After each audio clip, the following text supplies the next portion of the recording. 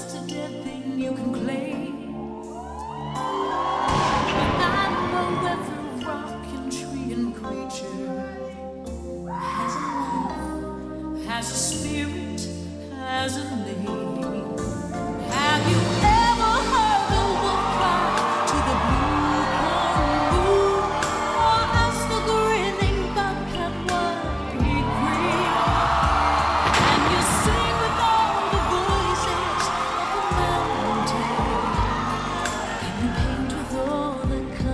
Jesus.